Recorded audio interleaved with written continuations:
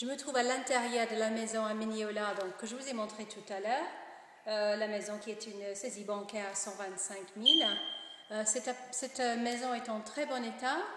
Euh, je suis en train de vous montrer, je suis au fond du, du, salon, en train de vous montrer la cuisine.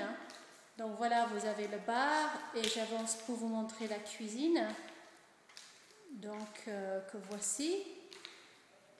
Donc il manque le frigo qui doit aller là, mais sinon on voit qu'il y a donc la cuisinière et vous avez la lave-vaisselle.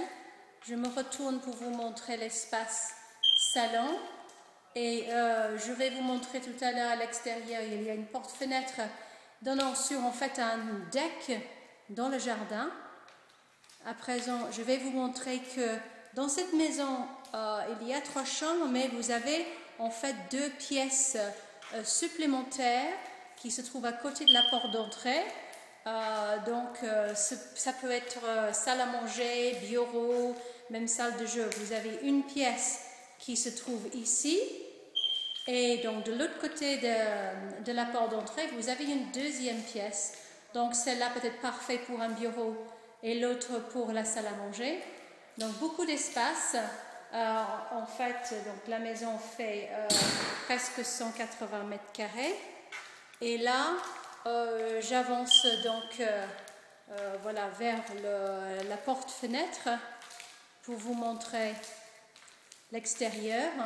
Donc je sors par la porte-fenêtre et j'arrive dans le jardin et sur ce petit deck là, voilà un petit deck et le jardin en fait est en pente en dessous.